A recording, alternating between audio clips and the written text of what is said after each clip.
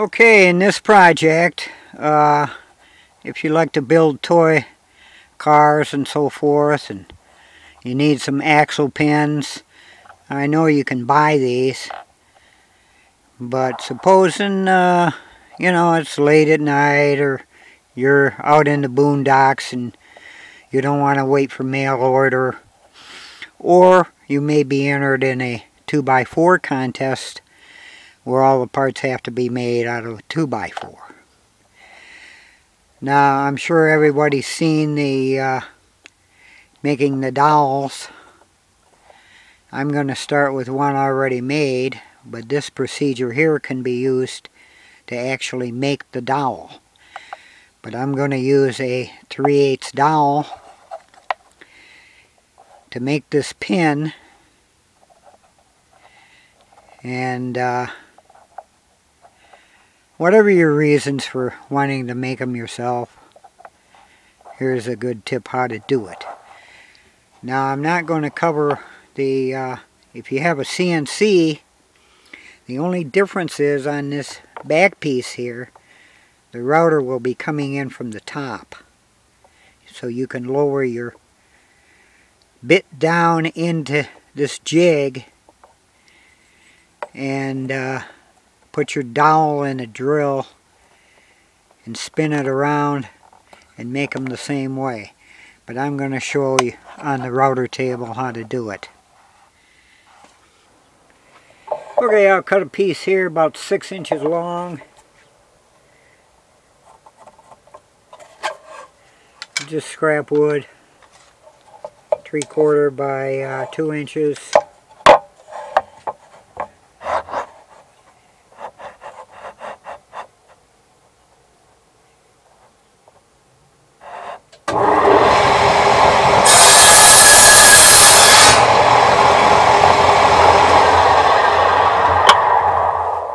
I'll cut two more, two and a half inches.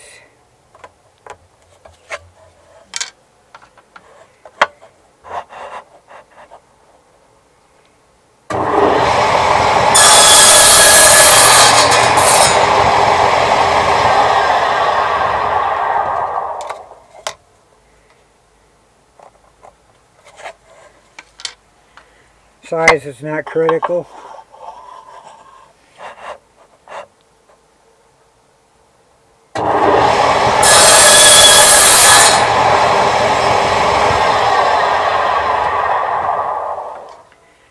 Next I'll uh, remove the burrs and then I'll glue these up like so, leaving a gap in the middle.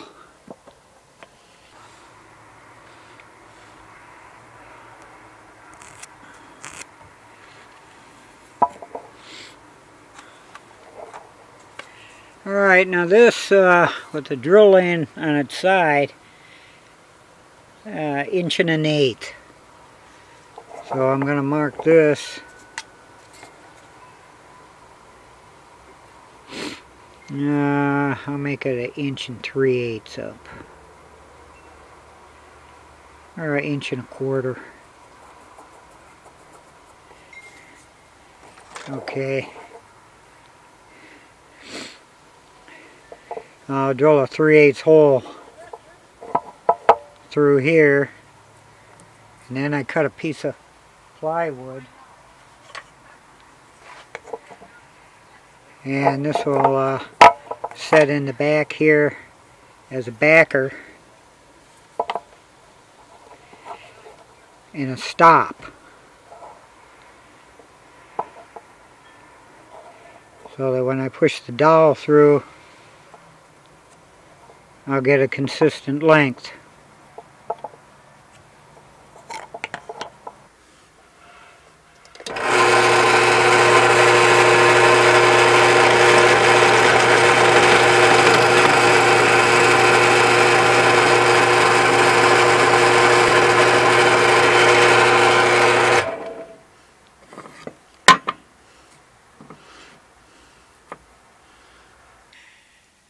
Okay, now I've got the jig set up here on the router table. Uh, I don't know if you can see it or not, but I added another quarter inch piece here on each side. And then this backer piece, the reason for the notch is to allow the uh, vacuum hose to suck the chips out. But when the dowel goes in, it's going to hit the back of that. Thus giving you a limit. So now we'll go ahead and we'll cut one.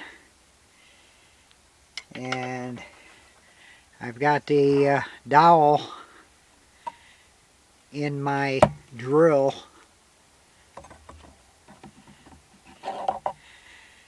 and we'll go ahead and give it a try.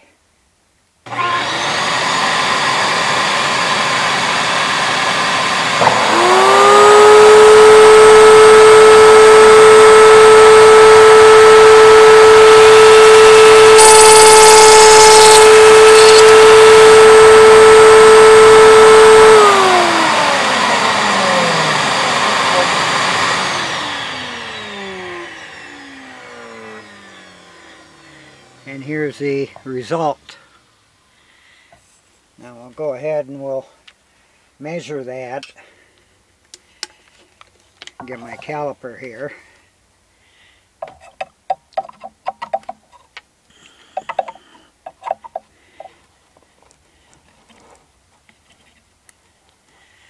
And I've got about 230.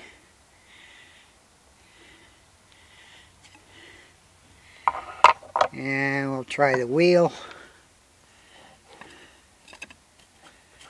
Wheel goes on there. It's a little snug.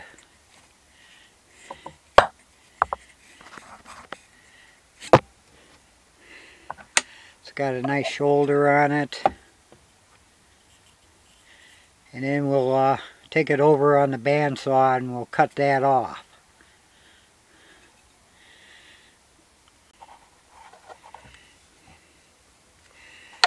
Okay, now I cut it off.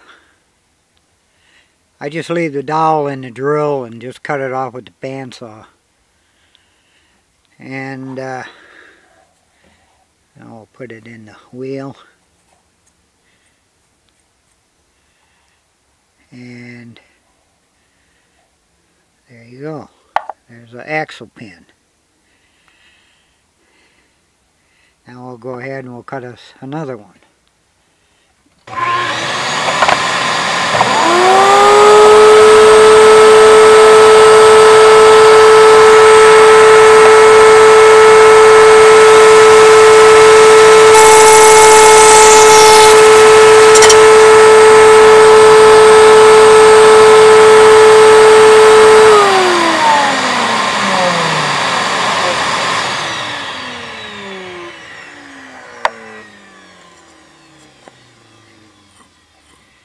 Wheel turns nice and free. I raise it up just a hair. And then we'll uh, cut that off on the bandsaw.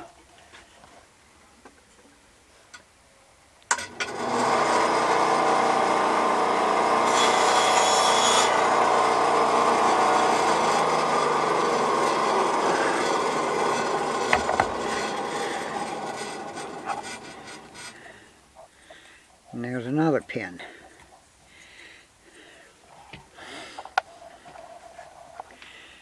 Okay, now we can go with another one.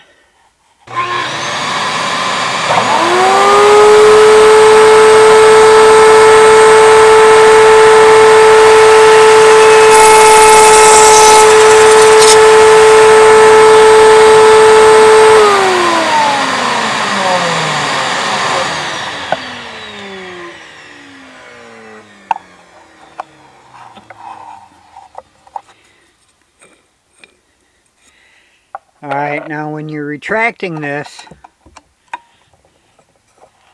when it's in there, you want to kind of pull up on it a little bit as you're removing it. Because when it gets to this point here, it'll it'll slip down and chew up the end of it. So when you pull it out, kind of lift up on it and then remove it. And then we'll cut that one there off on the bandsaw and we'll do some more.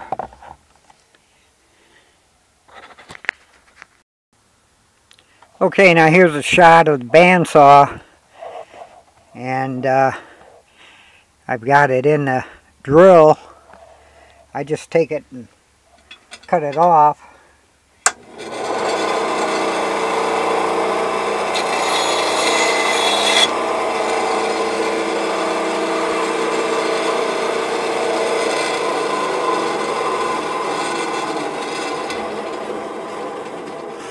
Now I can always go back and I trim these to the proper length later on. And then we'll just sand, put a little chamfer around the edge. And there's your axle pins. Alright, here's some uh, pins I made up. Uh, now the next step I'll do is I'll take this over to belt sander and I'll uh, sand these down a little bit put a little chamfer around there. And uh, then they'll be good to go. Okay now we'll clean these up a little bit here on the belt sander